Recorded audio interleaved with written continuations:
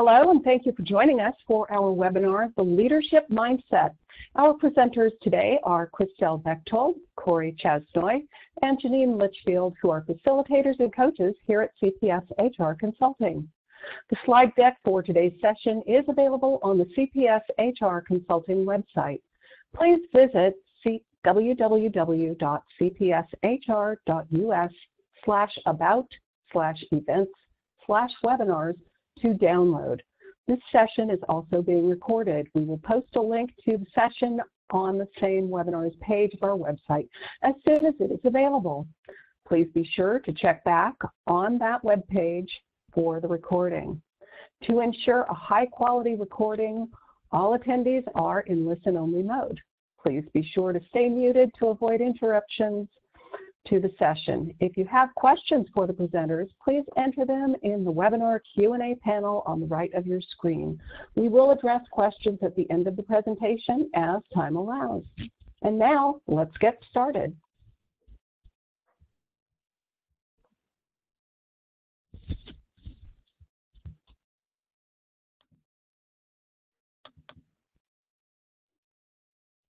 We appreciate that you've taken the time today to spend some time with us to talk a little bit about leadership.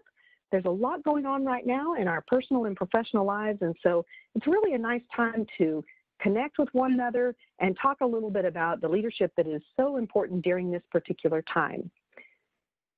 Let's take a look at our agenda that we have. Well, we're going to start off with who our presenters are. So as we talk about CPSHR's program called Leadership Mindset, um, we are going to take a look at who our instructors are for the day today. We have Corey Chasnoy, we have Christelle Bechtold, and Janine Litchfield are going to be our instructors for this particular program for the webinar today, as well as for the Leadership Mindset program that CPSHR is offering.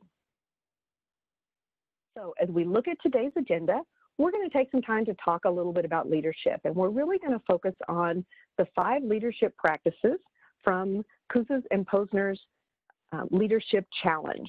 So we're going to take some time to talk leadership.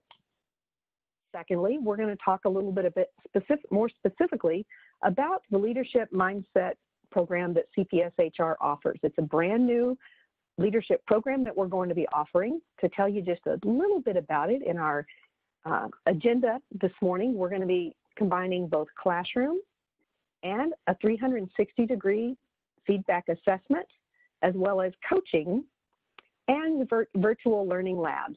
In this time where many of us are working virtually, um, we're really focusing on how do we blend both classroom and virtual technologies to bring you excellent leadership training. The fourth, uh, excuse me, the fifth component of uh, the leadership mindset methodology is going to be the learning agreement. And we'll talk a little bit more about that as well. Finally, as we are looking at uh, our next training offerings, we are going to be offering a summer discount.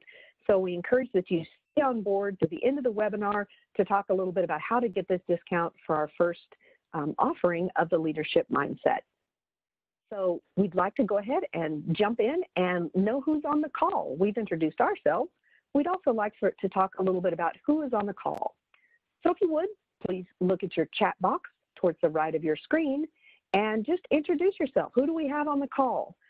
Maybe you're an HR specialist or a manager from a department or an agency. Maybe you're a leadership development manager at a county or an organizational development consultant for a local city. Just take a minute, introduce yourself, and tell us a little bit about what you do. So we'll give you some time to go ahead and start typing in that chat box.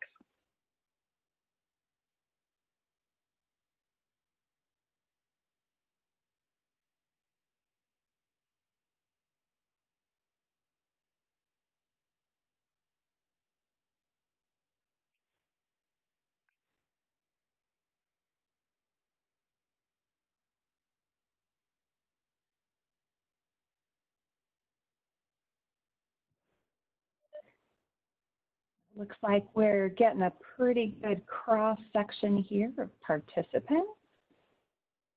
Staff development managers, I see specialists, okay. office manager, departments, agencies. Fabulous, fabulous. Nice assistant directors. All right, this looks great. Well, again, thank you all for joining us. This is uh, Christelle Bechtold, so one of your facilitator and coaches for Leadership Mindset. Looks like we've got a really good cross-section of potential participants, uh, leaders who are decision makers within um, leadership development and training, current leaders, aspiring leaders, like a really good group. So welcome and thank you all for being here today. Um, with that, I'd love to, as uh, Janine had mentioned, um, go ahead and move into the leadership practices themselves. So feel free if you want to continue adding um, recruitment and development. Oh, this is great. Uh, continue adding in our Q&A, kind of who you are, what you represent um, in terms of leadership development, but I'll go ahead and kind of dive in in the interest of honoring the time that we have here today.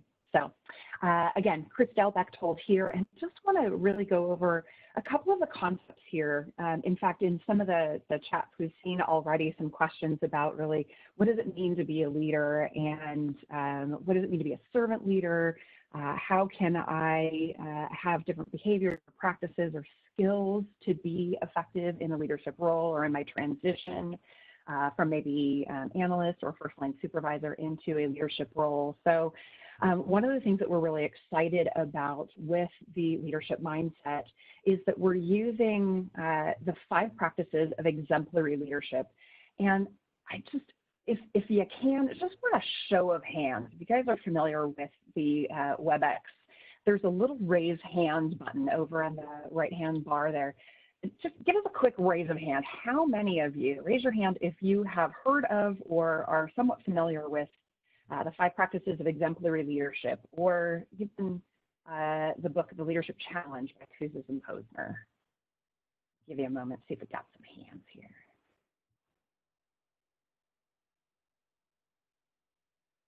Nice, seeing some, seeing a few, nice.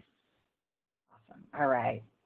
So again, this is not new. In fact, uh, Kouzes and Posner, uh, Jim Kouzes and Barry Posner, the authors of the book The Leadership Challenge, um, have actually uh, been doing research on the best leaders for more than 30 years. So uh, beyond three decades worth of uh, research and really looking at um, the best leaders in the business. These are from all kinds of different countries uh, across the world uh, a huge cross section of different organizations. This is public sector, this is private industry, nonprofits, uh, local government, all kinds of uh, different businesses.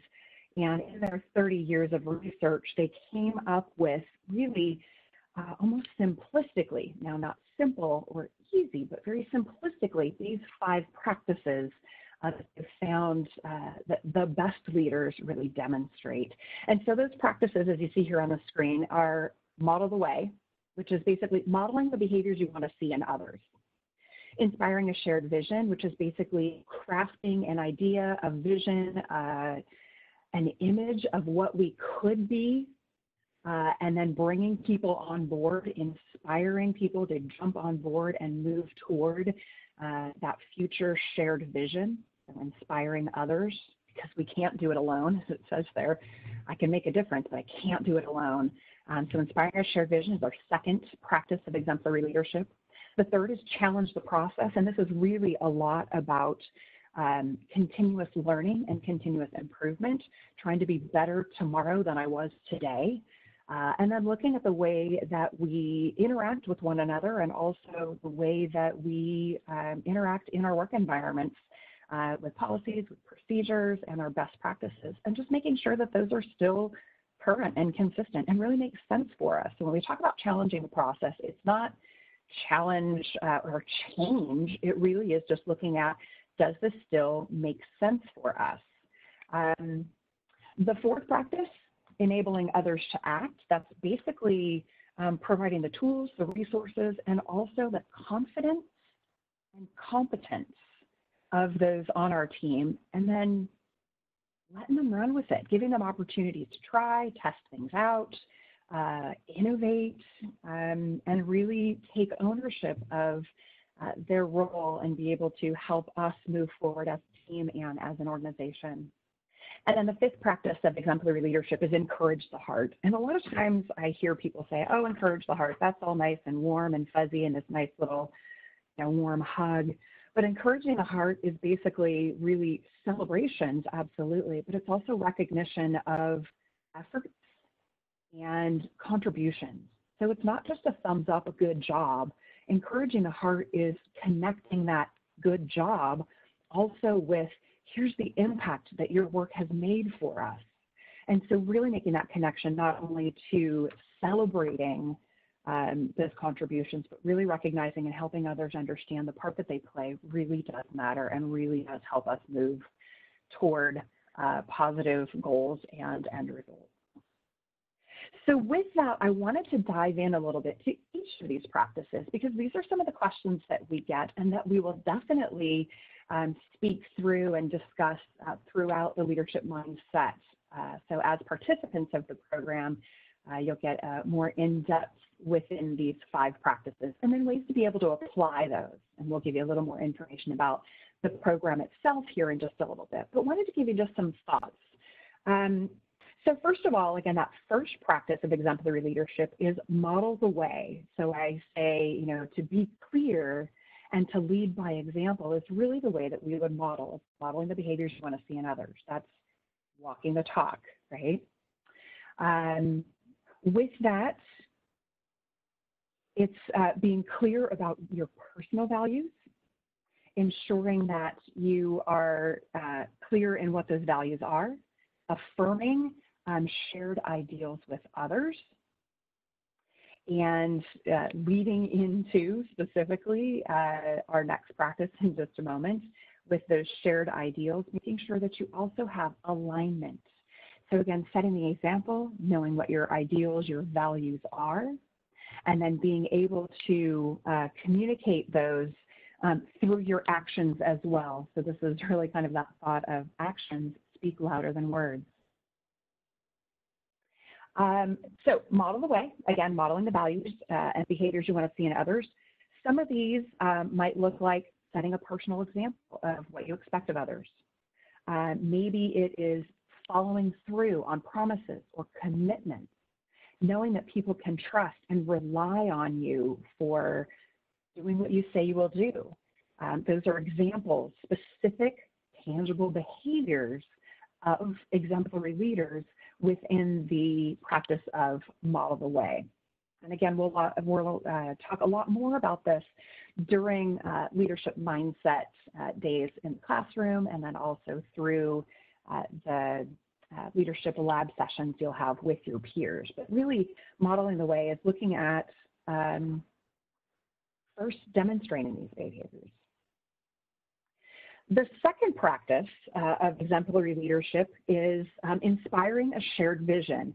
And again, that's talking about the future, that's envisioning the future, and then creating an image of what that could be. Um, it's beyond just a mental picture, but really in words and in actions uh, of what we could be as a team, as an organization, and the vision, the end result that we could really create, what is possible for us if we were to model our values and demonstrate those leadership qualities um, and focus on a big beautiful picture, as you can see here sort of in the image, is kind of that if we were to fulfill our mission uh, of our organization every day, this is the vision, the end result that we could create, so the outcomes and the impact that we could have. So inspiring a shared vision um, looks about looks a lot at future, um, where we're headed, being clear in that, and then enlisting others. So bringing people together and on board uh, with those specific um, steps so that we're all moving together uh, toward that common goal.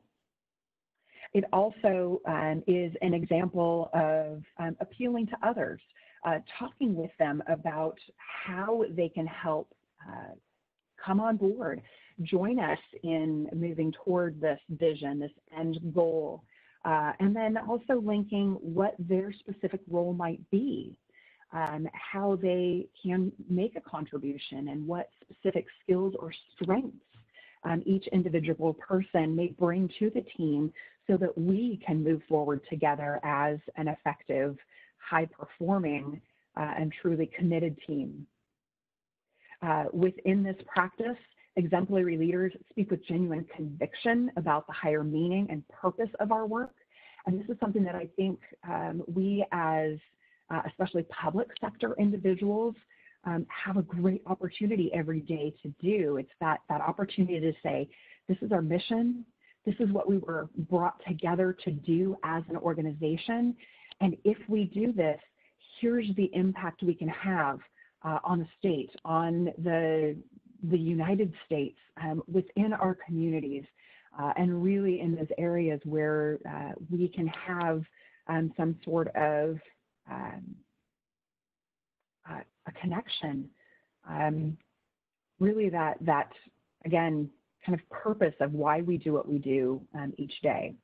So painting a big picture of sort of what that future could look like, speaking with, uh, again, true sort of connection and commitment or conviction about uh, the purpose and impact of what it is that we do on a daily basis. And then appealing to others um, to really come with us, right? We can't do it alone. We need others uh, to help us move toward that common vision. So bringing people on board through um, inspiration and connection.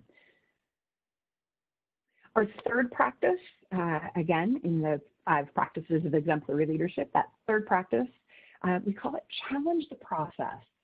So if we're modeling the behaviors we want to see in others, and then we're bringing people on board, inspiring that shared vision, that new vision, that new direction is going to potentially require new routes. And so as we look at this, again, the concept of sort of challenging the process, it's not challenge from the um, confrontational sort of challenge. It's more challenging the process as looking at the ways that we do things and kind of picking it apart, asking the question of, does this still make sense? Instead of saying, hey, this is the way we've always done it, so it's the way we'll continue doing it, it's stepping back and saying, does the way we've always done it still make sense for us? If it does, then that's great. Let's keep doing it, right? We're looking at this process and saying, yes, this is still a best practice.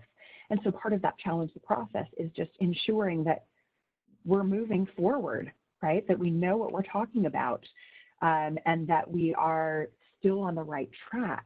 Um, the specific um, practices that we're following just still have to make sense. And if we go forward and we say, hey, you know, the process we've been doing for the past, you know, 5, 10, 15 years, things have changed since then. Well, then let's relook at this. When we talk about challenging the process, we can look at what is our process. If it doesn't make sense for us, let's find better ways to do it.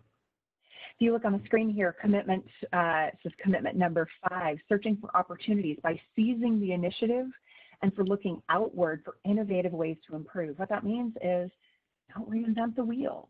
If somebody else is uh, doing something that we might be able to pattern after or even pick a few cues up from them, let's do it, right? So looking outward is looking beyond our own program area, maybe even beyond our own department or our own organization, looking at other organizations to figure out how did they do it? What were some of the challenges they faced?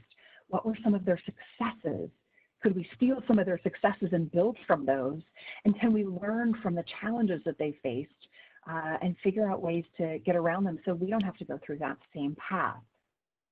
And then that, uh, again, challenge the process, that uh, second commitment of this practice is experimenting, right? If we're going to innovate, if we're going to try to find new ways, uh, new effective ways to do our work, we got to experiment, we got to take risks. And with that, breaking big projects, big processes down into smaller chunks so we can generate some small wins and see the progress that we're making, celebrate that progress, and also learn from those smaller changes, those smaller experiences, what might have worked out great and what maybe didn't go right. In fact, one of the specific behaviors within this challenge the process Uh, practice is when things don't go as planned, we ask, what can we learn? Instead of going back and saying, that didn't work, who did it, who screwed up, what went wrong, it's stepping back and saying, okay, that didn't work the way we thought it would. Where did it go off track? How do we identify that next time, identify it early, and put some steps in place that will keep us on track or at least keep us from going too far off the rails. So figuring out, again, challenge the process is all about that continuous learning or continuous improvement and figuring out how do we learn from each of our experiences each day to make us even better. So challenging the process is actually kind of one of my favorites. Um, it's about growth, it's about development, um, it's developing confidence and competence uh, in ourselves and others, and it's really looking at our goals. We hear a lot about SMART goals, right? It's taking those goals, that vision from the second practice, and then saying, how do we get there? What road can we take? What routes do we need to continue with? Uh, and what are the areas where we might need to shift, right? And so really looking at uh, maybe taking risks and learning from uh, those experiences along the way the best leaders are the best learners uh, and the best um, individuals to be able to kind of step out and say, how can we be even better tomorrow uh, than we were today? Uh, so with that, we come to our fourth practice of exemplary leadership. That fourth practice is enable others to act. Um, so enabling others to act, again, uh, we look at this really, uh, leaders are team coaches. And if you think about kind of the concept, as you see here, the coach can't win the game. If you think of yourself as a leader as a coach on, let's say, a sports team, the coach can't get out on the field or get on a course, get out on the um, uh, in the the environment um, and you know pick up the ball or you know uh, block uh, some sort of pass the coach can't do that. They do it from the sideline. The coach is the one that guides, that um, provides practice, uh, that gives the team members opportunities to try things. Uh, they provide skills, they provide encouragement. Uh, sometimes they provide uh, a block, right, where we say, stop, this isn't going in the right direction, let's regroup and try it again. So if you think of yourself in a leadership uh, role as a coach, you can't get out and do it yourself. You have to get work done through others and with others. So the practice of enabling others to act is fostering collaboration. You'll see the, the two commitments. In fact, I guess I didn't explain uh, well enough in the beginning. Um, each of our five practices of exemplary, exemplary leadership have two commitments uh, within each. So you'll see a couple of different areas for each. So this is our, our fourth practice. So we have commitments seven and eight uh, for enabling others to act. So again, fostering collaboration, building trust, building teams, um, building those uh, relationships uh, with one another and among team members. In fact, authors uh, Jim Kouzes and Barry Posner um, use the very strong language actually for leaders um, that leaders must learn to mobilize others to want to struggle for shared aspirations. And it's interesting you start thinking about that. How do I mobilize people to want to struggle, for one?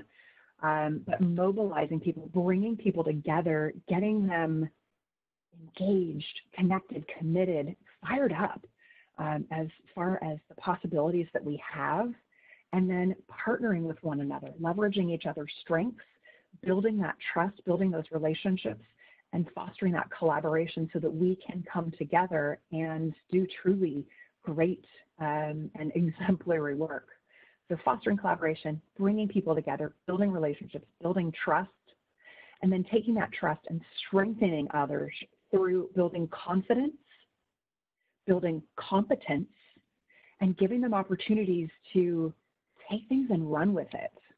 Um, so if we're clear in the outcomes and the impacts we're trying to make, and we come together and talk about what does this look like for us? What are the things that we're going to need to do? What are the challenges we might face? And what are the ways we can come together to get over, under, around, through those obstacles so that we can continue moving toward that very possible, very awesome vision that we created just a couple of practices ago. So really looking at, again, the behaviors within enabling others to act. This is developing cooperative relationships among the people that you work with. Um, it's seeking and not only seeking, but considering other people's input, bringing them to the table, bringing them to the conversation, and bringing people into decision-making discussions, especially if they're the ones that need to implement whatever decision is made. So enabling others to act is bringing people together, talking about collaborating, um, working toward a common goal, uh, and then being able to release that uh, with clear objectives, release that ownership to the team so that they can find the best way within their own abilities and their own competence uh, to be able to help us move forward as, again, a team. This is also about ensuring people grow in their jobs, learning new skills, developing themselves. But interestingly, this is also developing ourselves as leaders, not only saying, how can you grow? How can you develop? What do you need to learn? But also, what do I personally need to learn? How can I get better? How can I build my confidence and my competence uh, and strengthen myself to also be a great leader for others? So enabling others to act is really kind of that powerful, action-oriented, as they all are, uh, really that action-oriented um, practice behind uh, the five practices of exemplary leadership.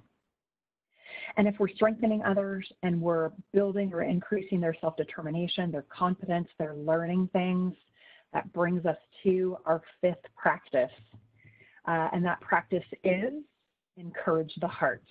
Um, so again, encourage the heart is talking about um, recognition, right? Recognizing contributions uh, and showing people um, that we see what they're doing, that their contributions matter, that their contributions make a difference, and that we celebrate the, the difference and the impact that people are making each day. What's interesting, uh, in fact, when we talk about um, recognition, a lot of times, and you even see here in this visual, right, it's this trophy, and we always have this thought of like everyone is, uh, you know, everybody gets a trophy. That's not what this is about. Encouraging the heart is very personal. It's very individual for each person, and it's also very collective for the team. But it's not coming together and say, hey, you get a trophy, and you get a trophy, and you get a trophy. It's being genuine it's connecting with individuals and saying, hey, I saw what you did, and that was great. And here's the impact that it has for us. Here's the outcome that we're able to create as a result of the performance that you did, the actions that you took, the behaviors that you had in that last meeting, whatever it is, right? There's a, a line from one of my favorite leadership videos, um, and it says, Good work that gets noticed gets repeated. And to me, that is almost the epitome of this encouraging the heart. It's recognizing the contributions that people make every day.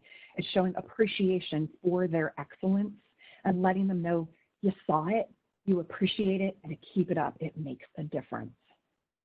What's really interesting when we talk about also um, recognition is um, how to make recognition really matter and there's something that we use from uh, another program. I'll actually just kind of pull it in here. It's when you recognize someone, it's recognizing not only action, but the effect that their actions have. So we call it sort of action and effect. It's not only saying good job, thumbs up, thank you, which is great. We sometimes don't even hear that enough. But it's really stepping beyond the thank you and connecting the action, what they did, what they demonstrated, and the impact that that has, the effect that that um, action has. So it could be something like, hey, I, I want to let you know I appreciate the extra time you took um, to flesh out some extra details in this research project. I could tell you took some extra time uh, and made sure that your research was accurate. Because of the time you took on this, because of the extra details um, and, and justification you provided us in this report, we're going to be able to make a more effective and um, well justified decision moving forward. Thank you for your extra work. It didn't go unnoticed.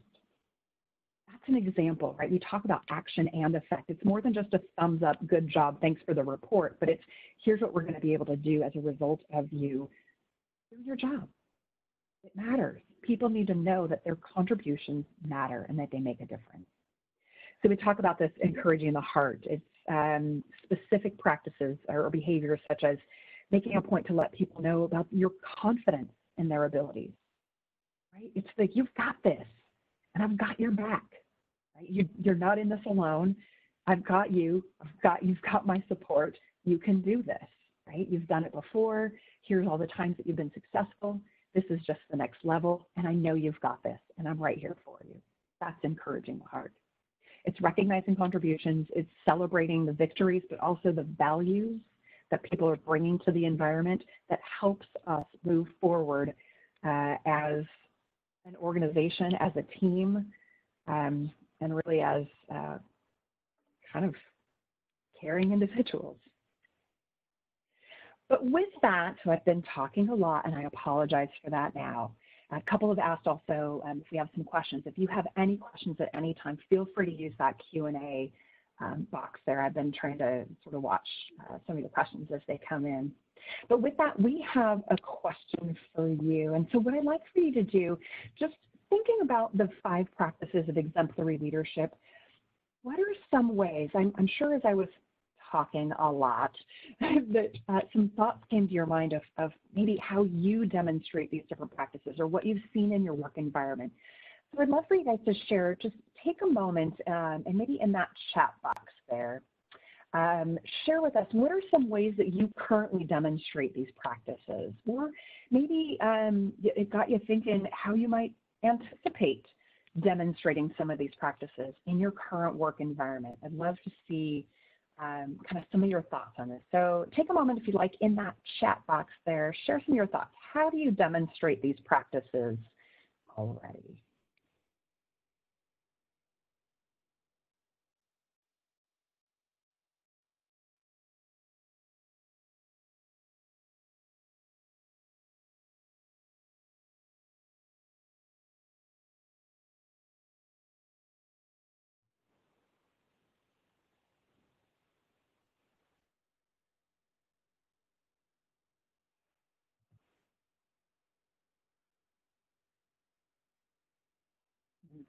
Nice. Really good thoughts. Right, let my staff know I'm in it with them. Let them know I know you can do it, right? Yeah, leading by example is really, really important. It's, uh, again, one of the reasons that it's, uh, for me, kind of comes up as our first practice.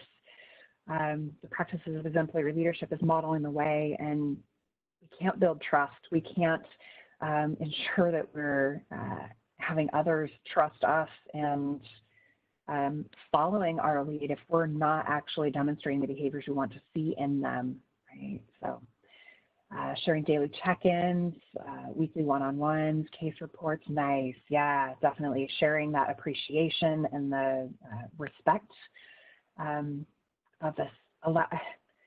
That's really awesome. I allow myself to be vulnerable with the team and demonstrate humility. That is huge, right? And it's interesting. I'm a, a big supporter. So uh, somebody a little bit earlier had asked a specific question about books. Um, I'm a big, big um, audio book person.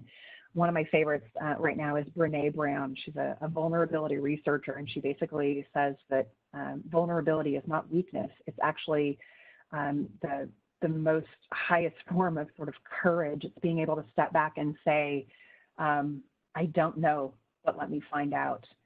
Um, or you're better at this than I am. Can you take the lead on this? Um, it's stepping back and saying, hey, I think I might have said or done something that uh, wasn't right, and I apologize. And here's what I'm going to do to make it right. It takes some a lot of courage uh, to be able to be vulnerable that way. So um, I really love that comment of allowing yourself to be vulnerable with the team and uh, demonstrating really um, increasing their success within that. Uh, buying lunch after big projects, I love that, right? These celebrations, they're, they're not, again, uh, you know, promotions and um, about trophies. It's, it's just really in showing appreciation and what's interesting, it's also um, with that kind of thought of coaching and um, caring. It's another uh, book that I've really been kind of looking at. Um, it's Radical Candor by Kim Scott.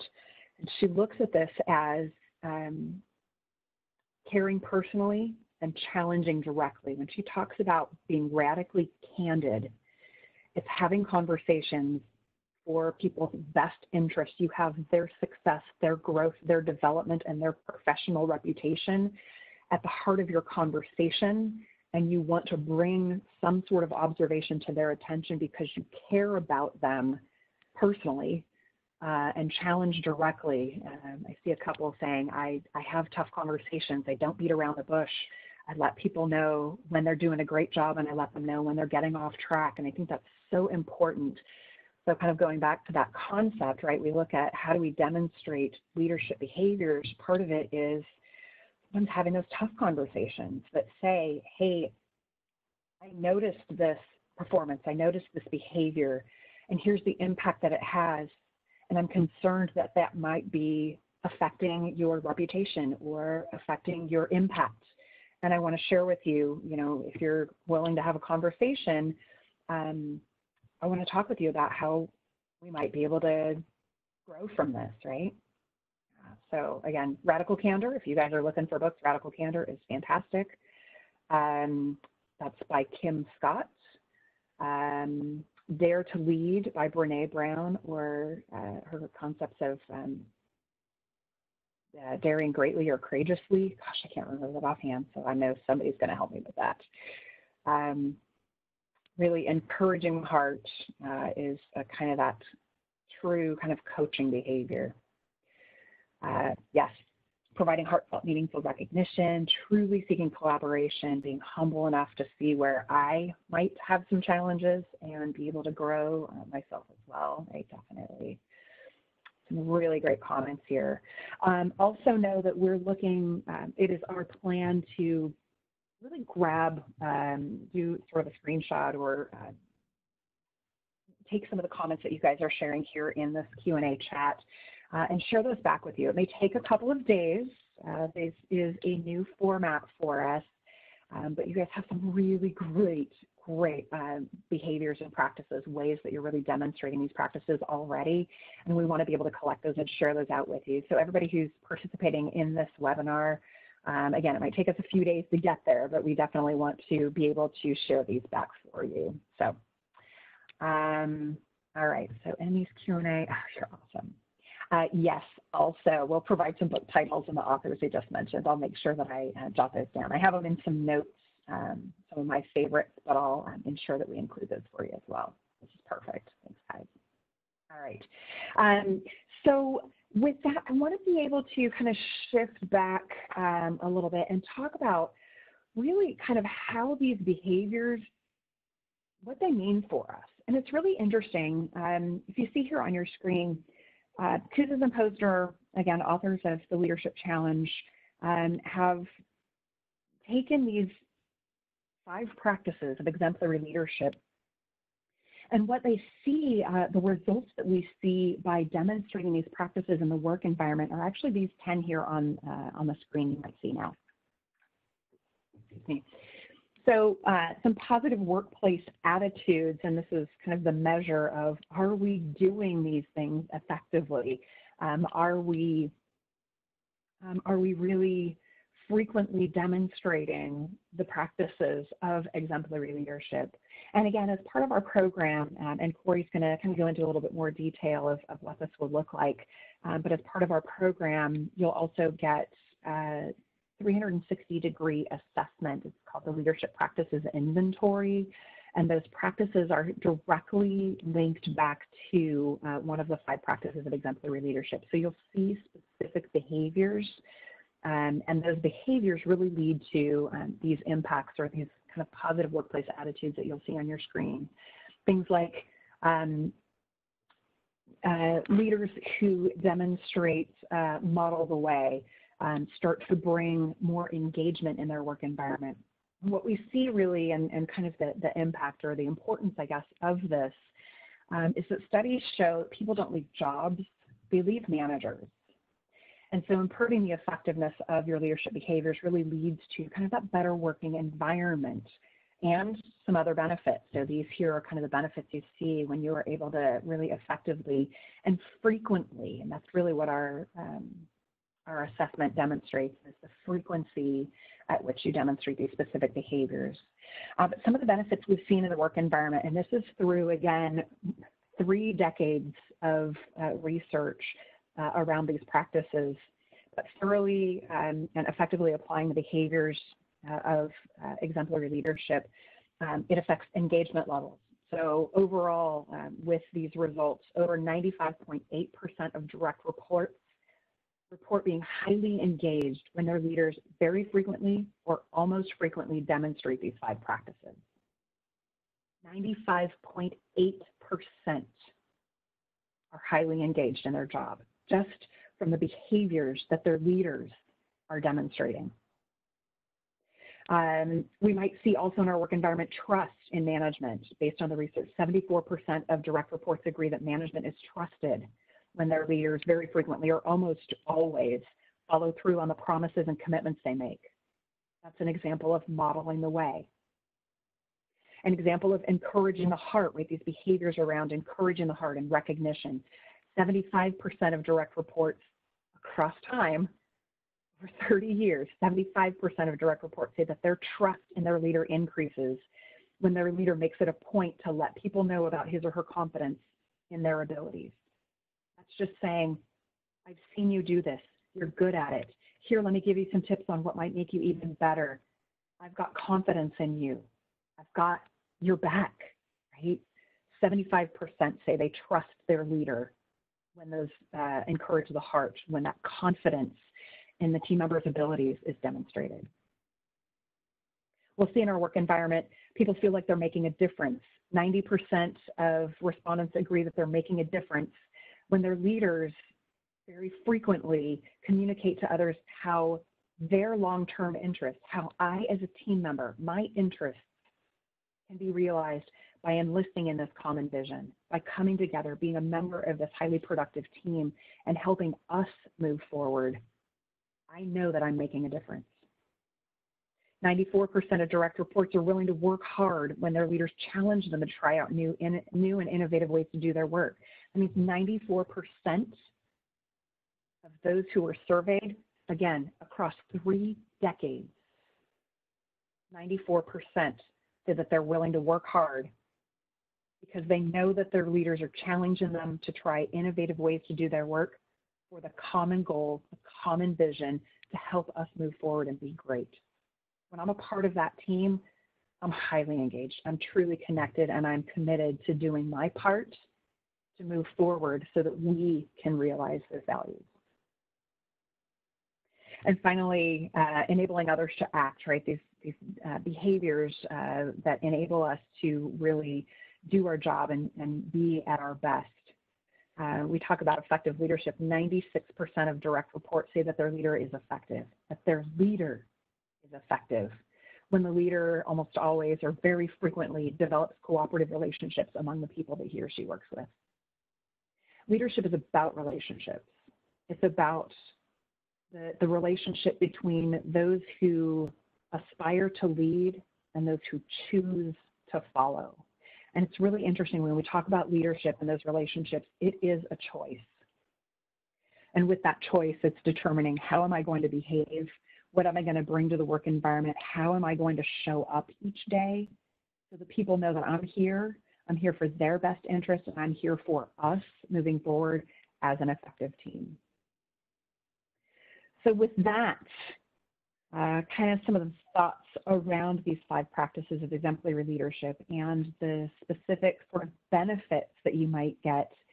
We know that this also leads into some challenges so with that, we have another poll question for you that we'd love to sort of get your thoughts on. And this is a multiple choice um, question. So poll question number two here, and I'll kind of kick this out. Um, what are your top challenges in training your leader? Or as a leader, what are some of the top challenges with your own learning?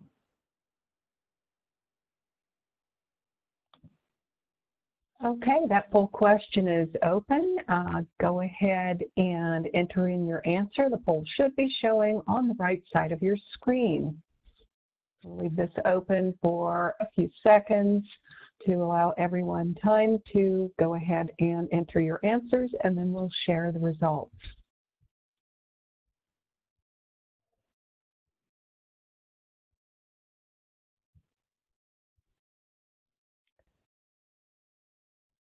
Okay, looks like we've got a good number of people responding, but they're still coming in pretty well.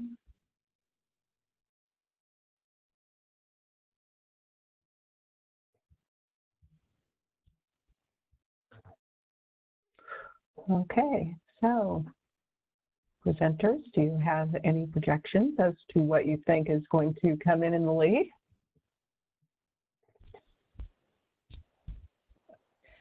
I know for me, it's always forgetting curve. I learn great stuff in the class, and then I come back to my office and go, what was that? How am I supposed to apply it? And then I default to my old behaviors. Okay, I think the answers are pretty much in now, so I'm going to go ahead and close the poll and share the results. And poll results. Oops, a couple more people still responding there.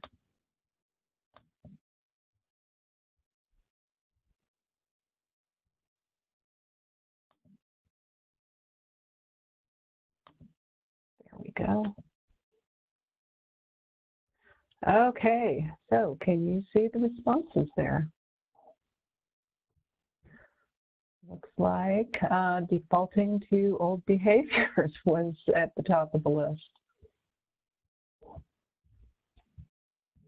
Um, Thanks, Julie. Yeah, definitely. Defaulting to old behaviors and kind of the, oh, there's a lot of different things here. mm -hmm. Hey, Corey, can you help us with some ways that we might be able to uh, assist with that defaulting to old behaviors and forgetting curves? Well, as a matter of fact,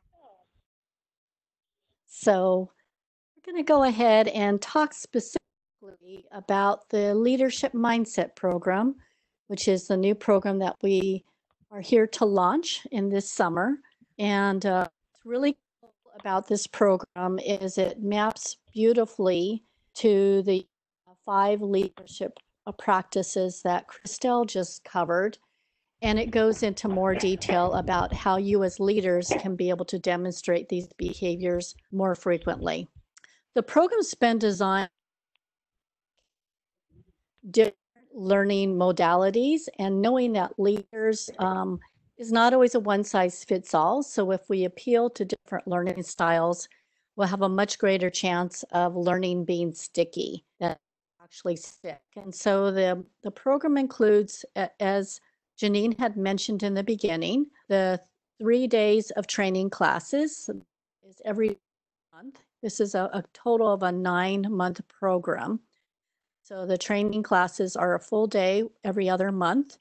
In between those training days, we have virtual leadership labs that will be joining um, virtually, and it'll be facilitated by one of the instructors or two of the instructors. And so you can uh, attend that from the convenience of your um, your location. You'll also have three one-on-one coaching sessions and then a pre and post leadership inventory, that 360 degree assessment that allows you to get feedback from your direct reports, your peers, your manager, and you complete it uh, for yourself.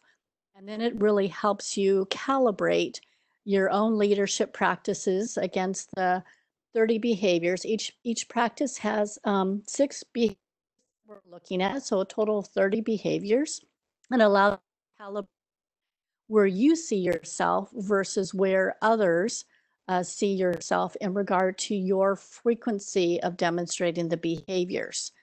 Uh, so that will be done after class one, and then there'll be a post assessment at the end of the training. So you'll have an immediate opportunity to see the increase in your behaviors based on your observers that others are observing your behavior. So the classes and the coaching and the leadership labs are all intended to help you make that shift in behavior from what you're currently doing and focusing on the ones that are highest leverage for you in regard to your current leadership challenges, your current environment, what's happening with you, what's happening with your team, what are your aspirations for yourself as being a leader in the future. You can see at the bottom of this slide, um, it's mapped out month by month, and it all starts out with a learning agreement that you make with your manager, where your manager will have a chance to check in with you periodically on what you're learning and how you're applying the skills to your current role. We'll go on to the next slide. Two.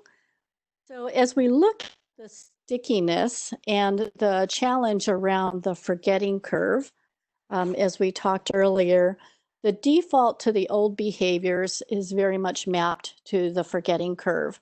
And it's natural that all of us are going to forget we learn. Um, and transfer of learning back to the workplace is always the biggest challenge. Sometimes learning is like drinking out of a fire hose. And so when we think about the level of repetition and then getting greater levels of stickiness over time, our program, the leadership mindset, is is definitely mapped to that repetition. So repetition um, one would be the agreement that you have with your manager. Repetition two would be the in-person classes. Repetition three would be completing your LPI assessment and getting feedback from others. And repetition four would be coaching. And then we continue to going repetition, which is repetition uh, five, six, and seven around cohort leadership learning labs, and the LPI post program. So learning happens real time as we begin to have an opportunity to hear the learning, talk about, reflect on it, do some hands-on application, understanding what's working and what's not, and then self-correcting all, along the way. Ultimately, practice and so building those habits and building that muscle memory over time is really that consistent application over time. Let's go our poll number three.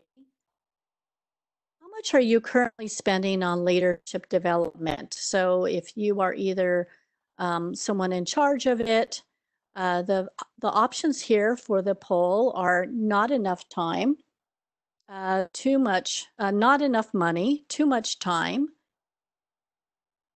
It's not about the time, it's about the application or others. And then if you could use your chat box to complete if there's a right in answer that you have that doesn't cover one of these other uh, five options. So when we're talking about our investment in leadership development, it's really about time and the money much we believe that that investment is going to pay off for us. So I'll give you a moment to load in your answer. Okay, and so that poll is open. Again, the poll panel is on the right side of your screen. Go ahead and enter in your answers. And we'll give this maybe another 30 seconds to let folks get their answers in, and then we'll see what we're looking at.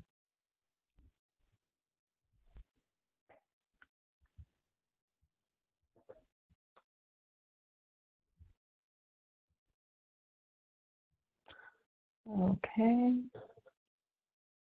Mm, I see a couple of them running neck and neck. Not to spoil anything for you. And let's give you a few more seconds to, to finish entering in your answers.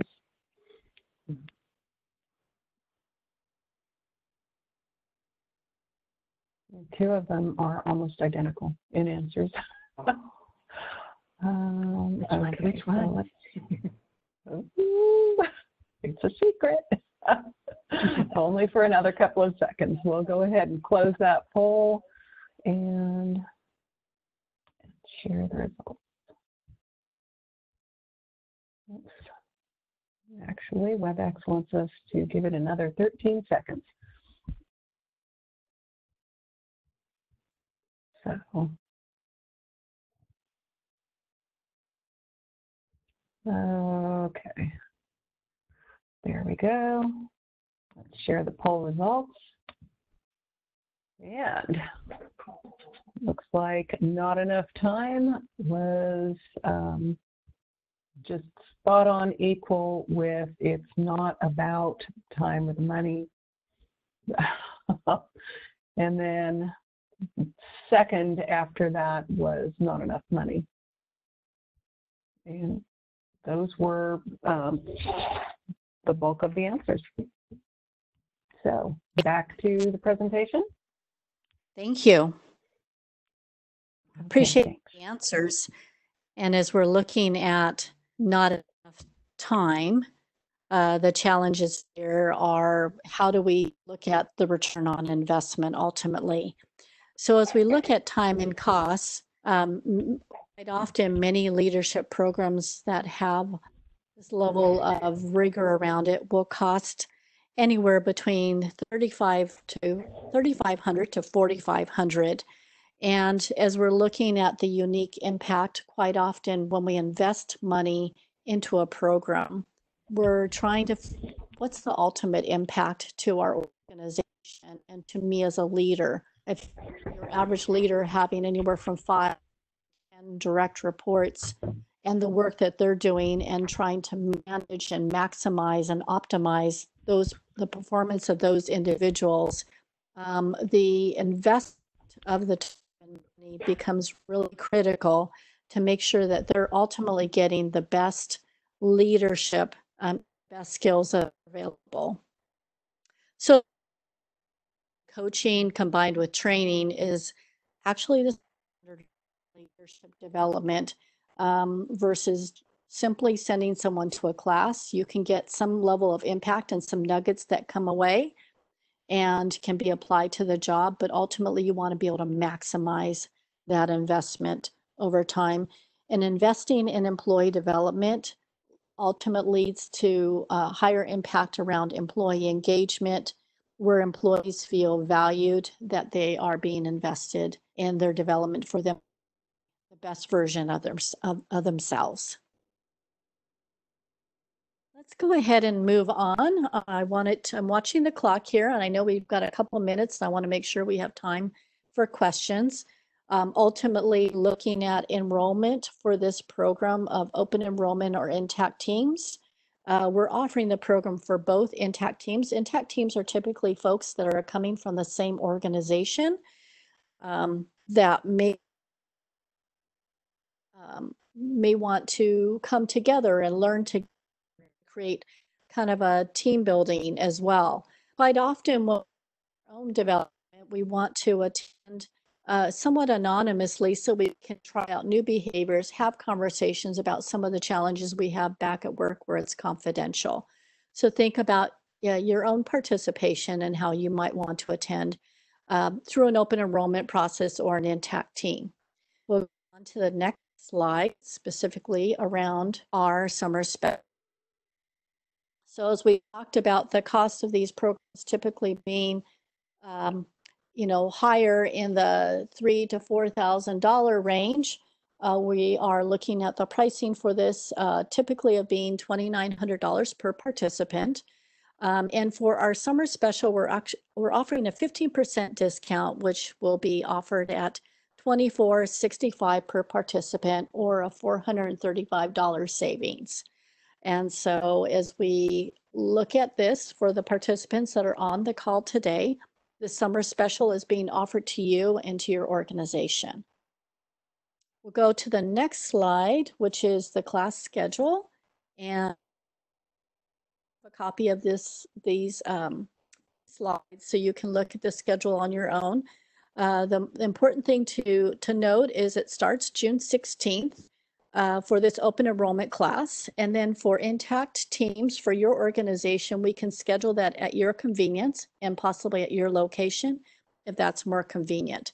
But you can see how this schedule is uh, spread out over time to maximize the impact. We are at the top of the hour. Um, Christelle, would you like to um, take a look at any final question? Yep, absolutely. In fact, it looks like uh, as some of the questions coming through, we were able to either answer them or you just answered them uh, specifically for us. Um, we did have a couple questions. Are we able to see some of the responses that were provided? Yes, absolutely. It's our intention to send those out again to everybody who has joined our webinar or registered for the webinar. It may take a couple of days for that, but uh, we'll send those out to you. Also, there was a question of some of the books and resources that we've mentioned. I will uh, gather those for you and a few additional, and we'll make sure those are sent out to you as well.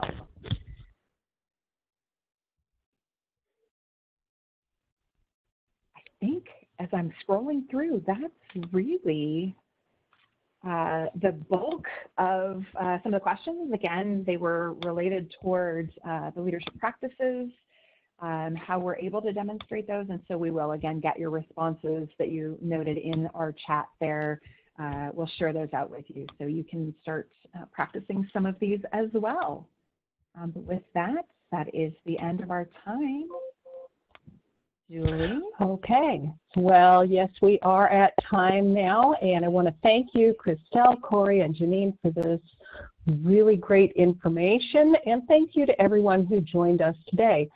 Uh, be sure to check our website at cpshr.us slash about slash events slash webinars for the recording and we will be sure to send out a summary of the, the chat and the ideas that were shared in today's webinar. So with that, I wish you all a very good day and thank you very much. Bye. Bye.